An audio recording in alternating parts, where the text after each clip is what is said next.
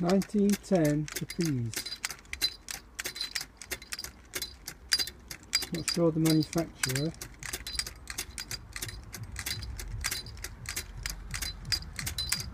Couple German, not sure yet.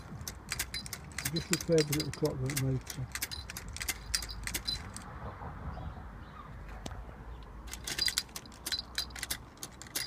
Put it like that and I'll see you next time. It's real fun.